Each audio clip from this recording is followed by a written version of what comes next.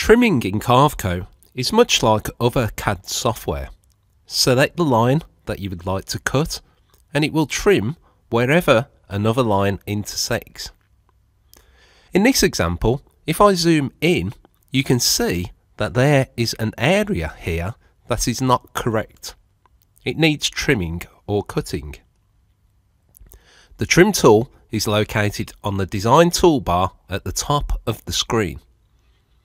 This will change the cursor to a pair of scissors and when they are hovered over a line they will become open, basically telling you that you can cut it. The first thing to show you is when it doesn't work and why that is. Here you can see that I've just trimmed this line and deleted most of it. If I undo to go back and zoom in to the line that I want to trim with the more vertical line, you can see that the vertical line doesn't actually go through or even touch the horizontal line. This is the reason why it's not trimming off here. I'm just going to edit this to make it go past the horizontal line. Now if I select the line that I want to remove, it will trim to the correct position. If you notice, I also turned on auto join, which meant that the whole part becomes joined when it is trimmed, saving you from having to do the process later.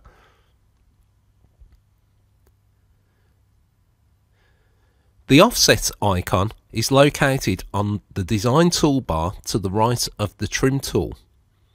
To use the offset, select the vector that you would like to offset and enter a distance for the offset. You can then choose the offset direction, in this case inward.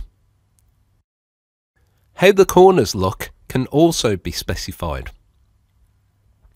To create the offset, select Offset at the bottom of the dialog. In this instance, it has created a 10mm offset of the outside rectangle. Offsetting can also be done by opening the offset tool and hovering over the vector that you would like to offset.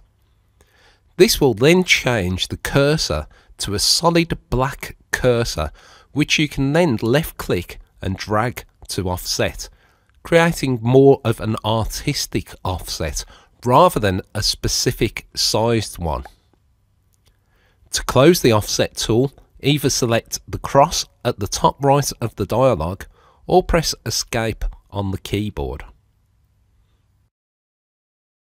To mirror an object, select the object to mirror and then select the mirror tool which is located on the vector editing toolbar.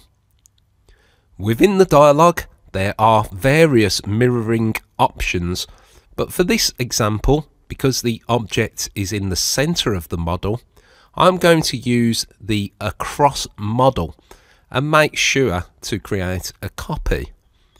To mirror this to the bottom right hand corner by moving, turn off the copy option and select over model.